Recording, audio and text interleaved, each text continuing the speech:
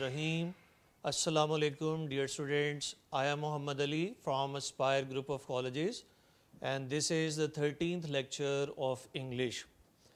Student آج کے lecture میں ہم پنکچویشن مارکس کو ڈسکس کریں گے پنکچویشن مارکس نشان ہیں جو استعمال کیے جاتے ہیں you can see here on the screen the first one is full stop and the second one is question mark then exclamation mark apostrophe quotation marks colon then semicolon comma hyphen dash capital letters and then parentheses and brackets.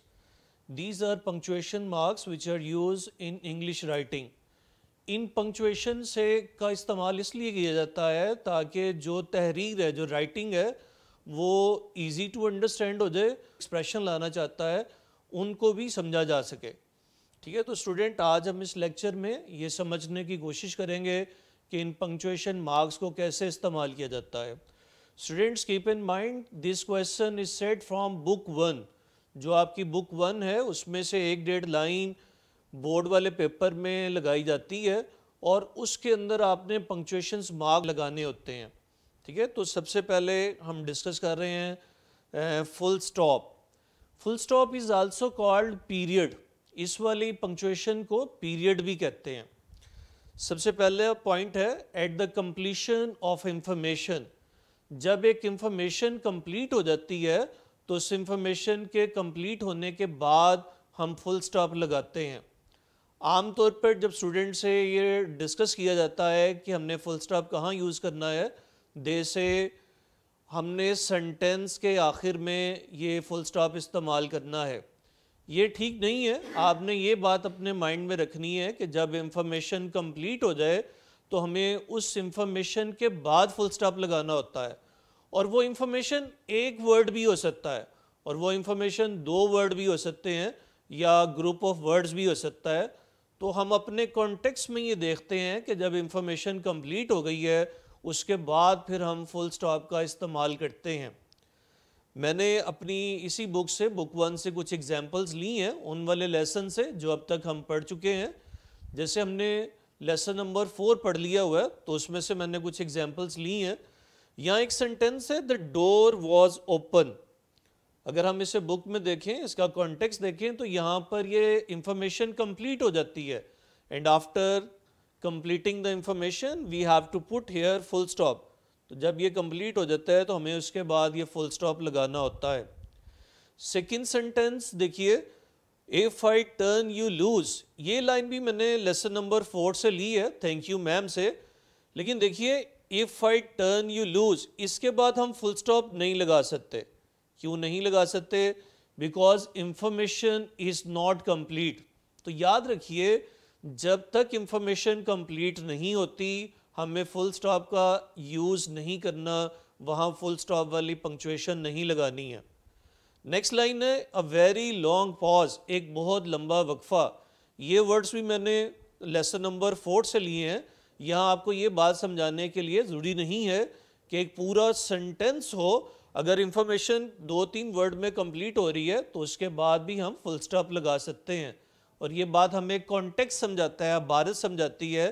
اگلے اور پچھلے والا حصہ کہ کہاں پر یہ information complete ہو رہی ہے۔ اسی طرح سے اسٹوڈنٹس یہ بھی ایک ایگزامپل ہے، یہ ورڈ سائلنس صرف ایک ہی ورڈ ہے اور یہاں پر یہ انفارمیشن کمپلیٹ ہوتی ہے تو اس وجہ سے یہاں پر بھی فل سٹاپ آئے گا۔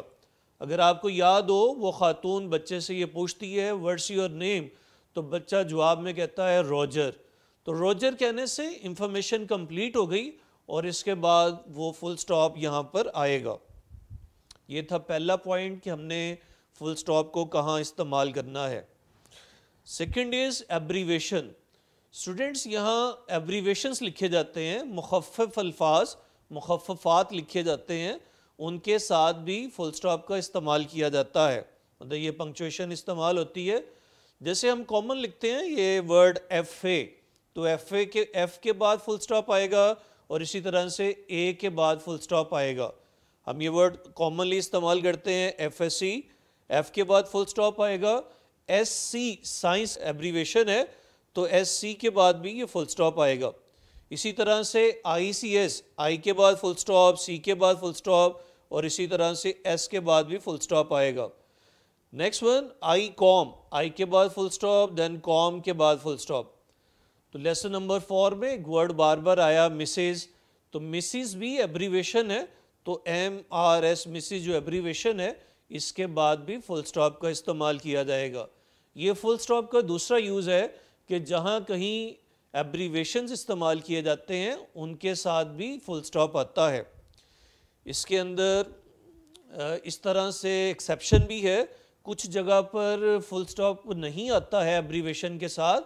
جب ایبریویشن ایک ورڈ کے طور پر استعمال ہوں، ٹھیک ہے، جیسے وابڈا۔ وابڈا ایک ایبریویشن ورڈ ہے، لیکن اب یہ ایک ورڈ کے طور پر استعمال ہوتا ہے۔ تو جو ورڈ کے طور پر ایبریویشن استعمال ہوتے ہیں، انہیں ہم ایکرونمز کہتے ہیں۔ تو اسٹوڈنٹ یوزلی ایکرونمز کے ساتھ فل سٹاپ نہیں آتے ہیں۔ جیسے یہ ورڈ وابٹا یہ اسی طرح لکھا جائے گا۔ یہاں یہ ریکوائرڈ نہیں ہے، اس طرح سے لکھنا یہ غلط ہوگا کہ ہم ڈبلیو کے بعد فل سٹاپ لگائیں، اس کے بعد اے کے بعد فل سٹاپ لگائیں، پھر پی کے بعد۔ اسی طرح سے ڈی کے بعد، پھر اے کے بعد، یہ غلط ہے۔ جو ورڈز ایکرونیم کی صورت اختیار کر لیتے ہیں، ان کے بعد فل سٹاپ نہیں آتا ہے۔ The next one is time usually time جہاں کہیں لکھا جاتا ہے آرٹس اور منٹس کو ڈفرینشیٹ کرنے کے لیے یا منٹس اور سیکنڈس کو ڈفرینشیٹ کرنے کے لیے پہلے ان کے درمیان کولن استعمال کیا جاتا تھا، جو اس طرح سے ہوتے ہیں ڈبل ڈاٹ اوپر نیچے۔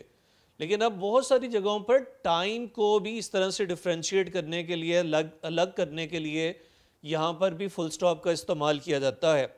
اس بک میں بک ون میں دو جگہ اس کی اگزامپل ملتی ہے۔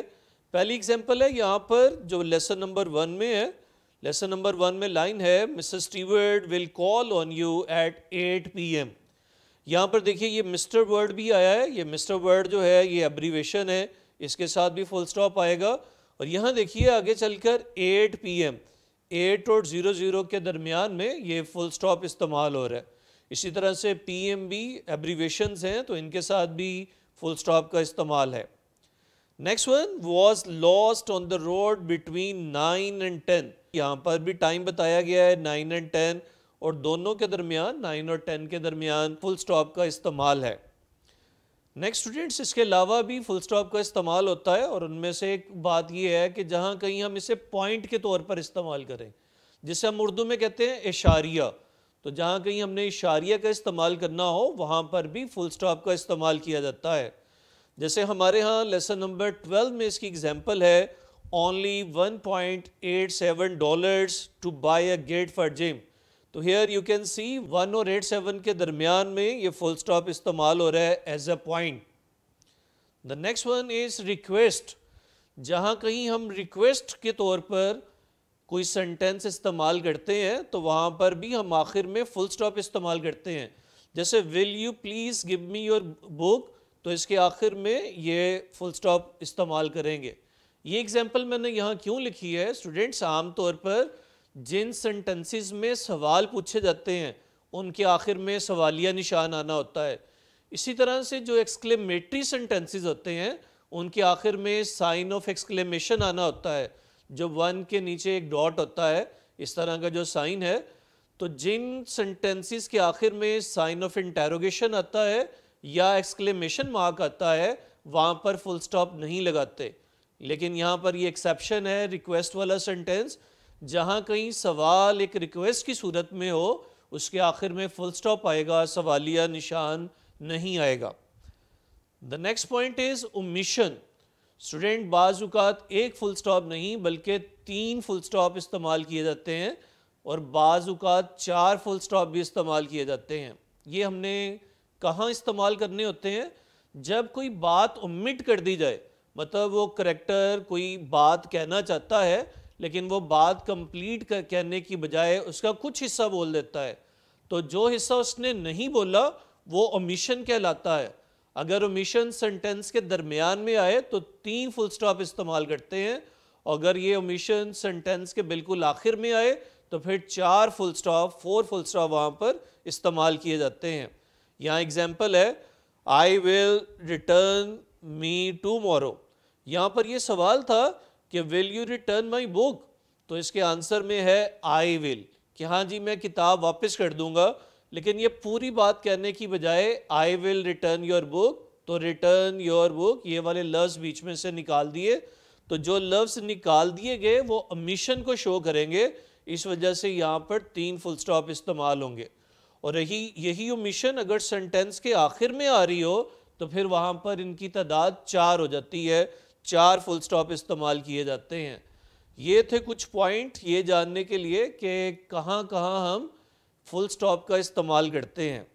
نیکسٹ پوائنٹ ہے پنکچویشن مارک میں کویسچن مارک سوالیہ نشان، کہ ہم سوالیہ نشان کہاں کہاں استعمال کرتے ہیں۔ تو اسٹوڈنٹ سب سے پہلا پوائنٹ ہے، جہاں کہیں ڈائریکٹ کویسچن پوچھا جاتا ہے، اس کے آخر میں سوالیہ نشان آتا ہے۔ ڈائریکٹ کویسچن کس طرح سے ہے؟ جیسے ورڈس یور نیم تمہارا نام کیا ہے اٹس اے ڈائریکٹ کویسچن اس کے آخر میں سوالیہ نشان آئے گا۔ یہ لائن بھی میں نے lesson number four thank you ma'am سے لی ہے۔ اسی طرح سے you gonna take me to jail آپ مجھے جیل لے جا رہی ہیں۔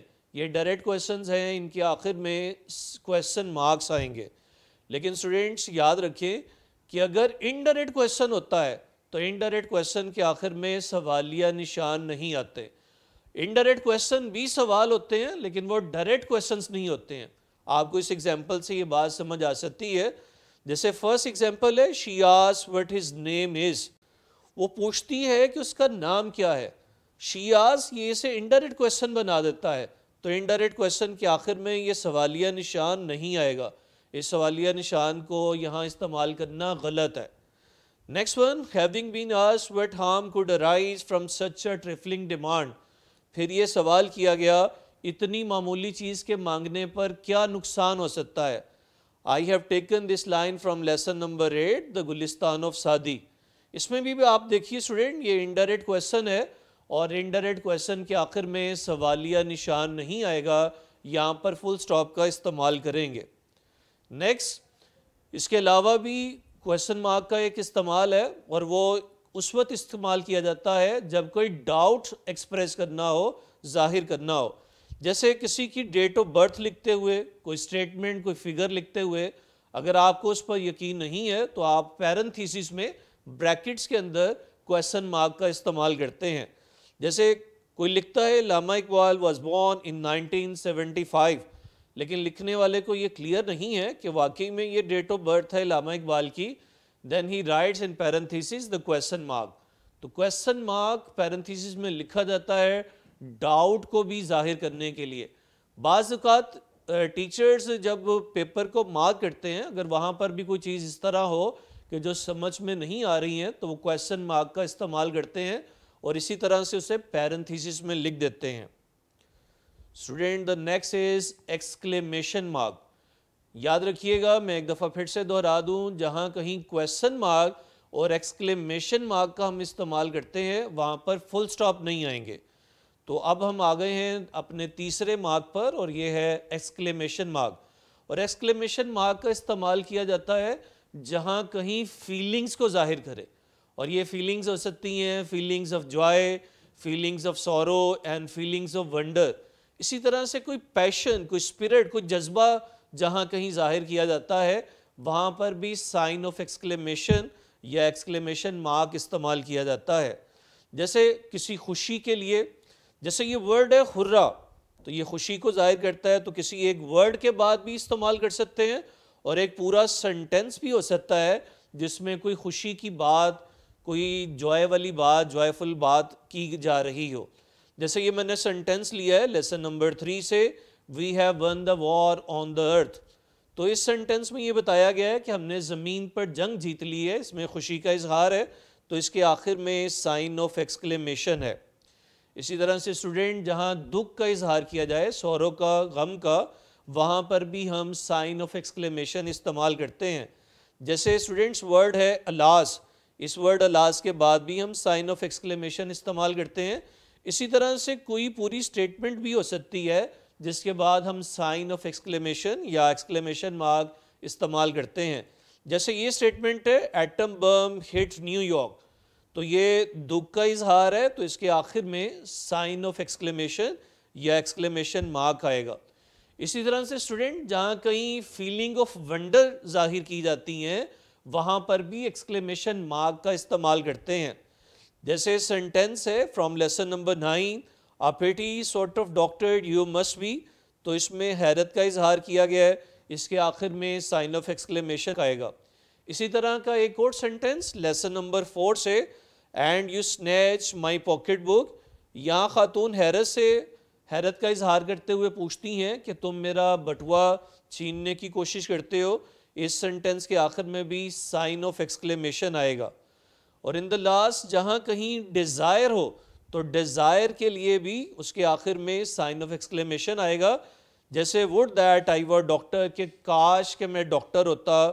تو ایسی صورت میں ڈیزائر یا اپنی اسپرٹ اپنا پیشن شو کرتے ہوئے بھی اس کے آخر میں سائن آف ایکسکلیمیشن کا استعمال کرتے ہیں۔ اسٹوڈنٹ جہاں کہیں اسٹیٹمنٹ آف ونڈر ہوتی ہے، اس کے آخر میں سائن آف ایکسکلیمیشن آتا ہے۔ لیکن اس سائن آف ایکسکلیمیشن کو بعض کا جج کرنا مشکل ہوتا ہے کہ کہاں ایکسپریشن آف ونڈر ہے، کہاں فیلنگ آف ونڈر ہے. اس کے لیے ہماری ہیلپ کرتی ہے کانٹیکس کہ جہاں سے وہ سنٹنس لیا گیا ہے، جو عبارت لی گئی ہے، اس کے اگلا اور پچھلے والا حصہ، وہ ہمیں سمجھاتا ہے کہ یہاں پر ونڈر والی فیلنگز ہیں، تو وہاں پر پھر ہم یہ سائن آف ایکسکلیمیشن استعمال کرتے ہیں. دا نیکسٹ ون از پوسٹوفی پوسٹوفی کا استعمال، اور پوسٹوفی ہے لائن سے اوپر ورڈ کے ساتھ جو کومے کا استعمال کیا جاتا ہے. آپ جانتے ہیں کہ ایک کوما ہوتا ہے جو بالکل لائن کے ساتھ ہوتا ہے، اسے ہم کوما کہتے ہیں، اور لیکن ایک کوما اس طرح ہوتا ہے جو ورڈز کے ساتھ استعمال کیا جاتا ہے، اسے ہم پوسٹوفی کہتے ہیں۔ تو اسٹوڈنٹ پوسٹوفی کا پہلا یوز ہے پوزیشن جہاں کہیں ہم نے کسی چیز کی ملکیت ظاہر کرنی ہو، تو وہاں ہم پوسٹوفی اور ساتھ میں ایس کا استعمال کرتے ہیں پوسٹوفی ایس جیسے ہم نے یہ لکھنا ہو، علی کی کتاب، تو we can write it like this Ali then apostrophe S Ali's book this can be written as تو یہ ہے پوسٹوفی کا استعمال کہ ہم اس کے سے پوزیشن ظاہر کرتے ہیں. پوزیشن ظاہر کرنے کے لیے پوسٹوفی کا استعمال کیا جاتا ہے. Students I have taken its example from lesson number one یہاں اس لیسن میں لیسن نمبر ون جب آپ پڑھیں گے، وہاں پر ایک نام آتا ہے بار بار ارتھر ارتھرز آئیز ارتھر کی آنکھیں. تو یہاں پر پوسٹ آفی کا استعمال کریں گے۔ پوسٹ آفی ایس اس کی پوزیشن کو ظاہر کرنے کے لیے۔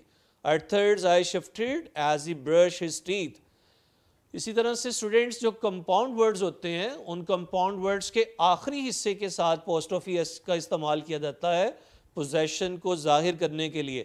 جیسے یہ کمپاؤنڈ ورڈز ہے، ہوتے ہیں brother in law father in لا اگر ہم نے اس کے ساتھ پوزیشن ظاہر کرنی ہے تو آخری ورڈ کے ساتھ ہم پوسٹ آفی کا استعمال کریں گے۔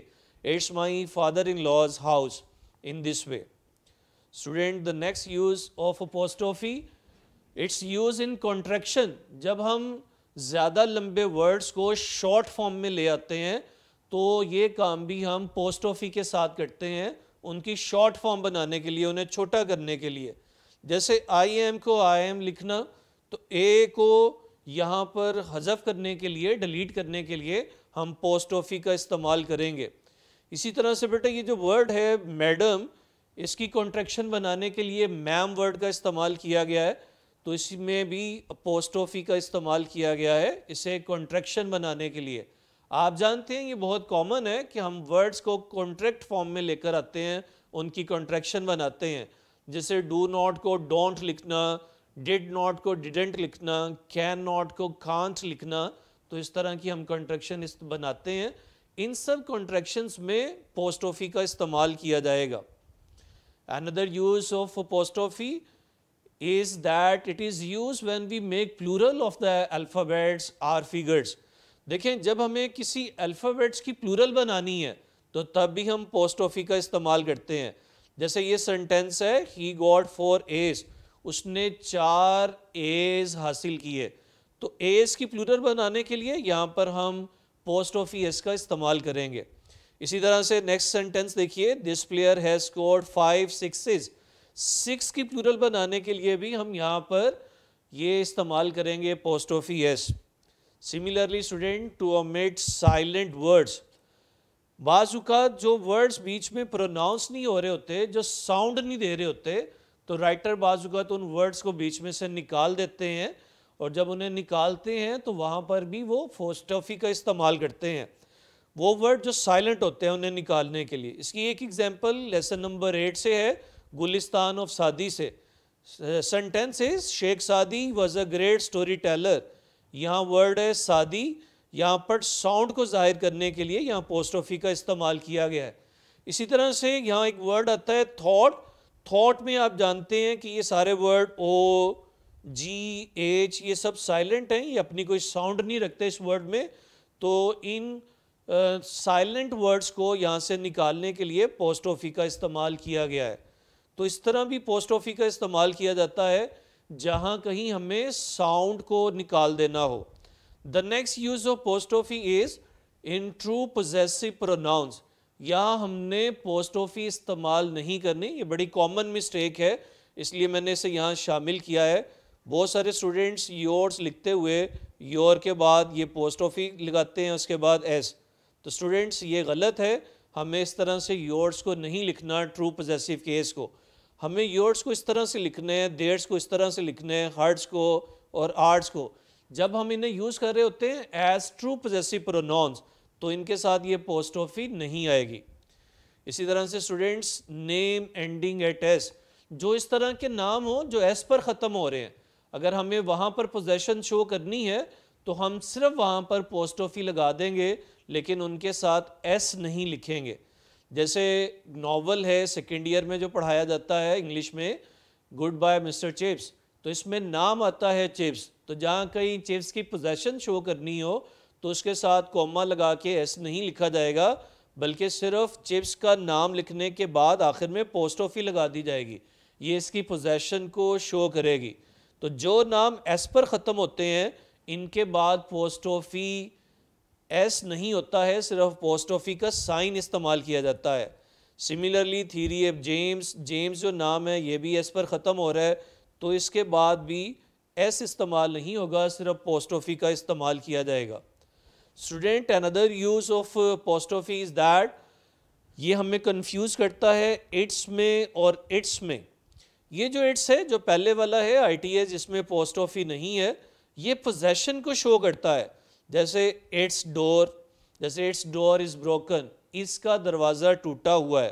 تو یہ اٹس، اس کا، اس کی، اس کے، اس طرح کا مطلب دیتا ہے۔ اور یہ جو اٹس ہے، جس کے ساتھ پوسٹ آفی استعمال ہوئی ہے، یہ استعمال ہوتا ہے، یہ کنٹریکشن فارم ہوتی ہے، اٹ از کی یا اٹ ہیز کی۔ تو ہمیں دیکھنا ہوتا ہے کہ ہمیں کون سا ریکوائرڈ ہے۔ یا ہمیں عبارت سے سمجھنا ہے کہ یہاں پر کون سا اٹس آنا ہے؟ تو ہم پھر اس کے اکارڈنگ استعمال کریں گے۔ اگر ہم نے کا کی کے والا مطلب لینا ہے تو یہ والا اٹس آئے گا۔ اگر ہم نے کنٹریکشن بنانی ہے اٹ از کی اور اٹ ہیز کی، تو پھر ہم یہ والا اٹس استعمال کریں گے۔ یہ تھے کچھ پوسٹ آفی کے استعمال۔ اس کے بعد نیکسٹ مارک ہے quotation mark student quotation mark بہت زیادہ امپورٹنٹ ہیں۔ اس بک میں جتنی بھی ایکسرسائز کے اندر پنکچویشن دی ہوئی ہیں اور اسی طرح سے جتنی بورڈ کے اندر پنکچویشنز آتی ہیں، سب میں زیادہ تر وہی ہوتی ہیں جن میں پنکچویشن مارک استعمال ہوتی ہیں۔ تو کوٹیشن مارکس استعمال ہوتی ہیں اور کوٹیشن مارک اس طرح سے ہوتی ہیں۔ یہ کومرز اور پھر ان کومرز کو کلوز کرنا۔ اسٹوڈنٹس آپ سب جانتے ہیں کہ جب ہمیں ڈائریکٹ سپیچ لکھنی ہوتی ہے ڈائریکٹ ان ڈائریکٹ والی ڈائریکٹ سپیچ تو وہ دو حصوں میں تقسیم ہوتی ہے۔ ایک حصہ جسے ہم کہتے ہیں رپورٹنگ سپیچ اور دوسرا حصہ جسے ہم کہتے ہیں رپورٹڈ سپیچ تو اسٹوڈنٹ یاد رکھیے رپورٹڈ سپیچ ہمیشہ انورٹڈ کامرز میں مطلب اس میں جسے ہم کوٹیشن مارک کہتے ہیں، اس میں لکھی جاتی ہے۔ تو کوٹیشن مارکس عام طور پر تین طریقوں سے استعمال ہوتی ہیں۔ دیکھیے وہ تین طریقے کیا ہیں۔ بعض اوقات جو رپورٹنگ سپیچ ہے، جیسے شی سیڈ یہ رپورٹنگ حصہ ہے۔ یہ پہلے ہوتا ہے اور جو رپورٹڈ سپیچ ہے، جو انورٹڈ کامرز میں ہے، وہ بعد میں ہوتا ہے۔ تو ہم رپورٹڈ سپیچ کے ساتھ یہ انورٹڈ کامرز کا استعمال کریں گے۔ اسی طرح سے دوسرا طریقہ یہ ہے کہ رپورٹڈ سپیچ پہلے ہوتی ہے اور جو رپورٹنگ حصہ ہے، وہ بعد میں ہوتا ہے۔ جیسے یہ اس کا رپورٹنگ حصہ ہے آنسر دا بوائے اور رپورٹڈ حصہ ہے روجر تو روجر والا حصہ انورٹڈ کامرز میں کوٹیشن مارکس میں لکھا جائے گا۔ یاد رکھیے اسٹوڈنٹ کوٹیشن مارکس کو ڈائریکٹ سپیچ کے اندر رپورٹنگ سپیچ اور رپورٹڈ سپیچ کو بھی الگ کرتے ہوئے کومے کا بھی استعمال کیا جاتا ہے۔ Another example from lesson number 4 is that then we will eat said the women I believe you are hungry یہ تیسرا طریقہ کار ہے۔ اس میں عام طور پر رپورٹڈ سپیچ دو حصوں میں یا دو سے زیادہ حصوں میں ڈیوائیڈ ہو جاتی ہے۔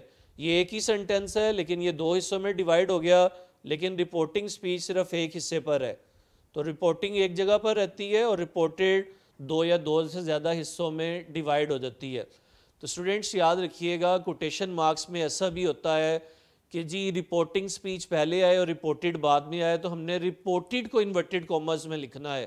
دوسرا طریقہ کار ہے کہ رپورٹڈ پہلے آتی ہے اور رپورٹنگ بعد میں آتی ہے۔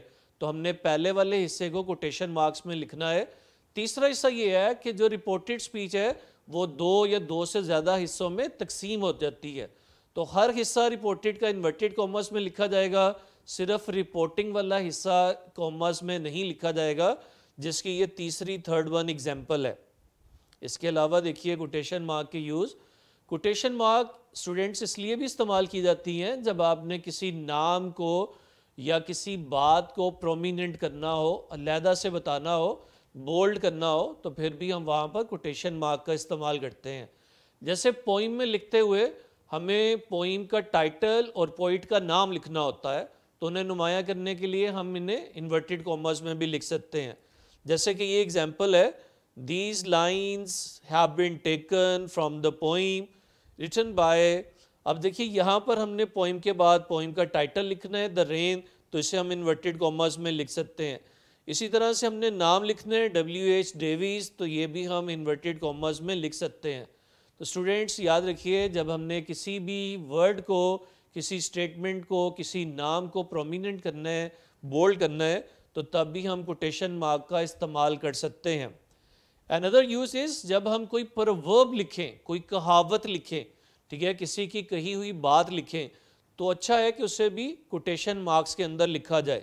جیسے I believe honesty is the best policy تو یہ جو لائن ہے honesty is the best policy اسے انورٹیڈ کامرس میں لکھا جائے گا۔ جو باقی رہ گئے ہیں، وہ ہم آنے والے لیکچرز میں انشاءاللہ ڈسکس کریں گے۔ لیکن میں آپ کو بریفلی ان کے بارے میں بھی بتا دیتا ہوں۔ سب سے پہلے کولون ہے کولن بھی اسے کہتے ہیں اور کولون بھی کہتے ہیں۔ کولن کا ہم استعمال تب کرتے ہیں جب ہم نے کسی چیز کو انلسٹ کرنا ہو۔ جیسے ہم اردو میں یہ لفظ استعمال کرتے ہیں درج ذیل ہے۔ تو اگر ہم یہ ورڈ انگلش میں لکھیں گے فالوئنگ تو فالوئنگ کے ساتھ ہی یہ کولن کا استعمال کیا جاتا ہے اور یہ ایک بڑے پوز کو ظاہر کرتا ہے۔ نمبر ایٹ پر کوما ہے۔ کوما اسٹوڈنٹ استعمال کیا جاتا ہے کسی بھی اسٹیٹمنٹ کے اندر پوز لانے کے لیے شارٹ پوز لانے کے لیے، چھوٹا سا وقفہ لانے کے لیے۔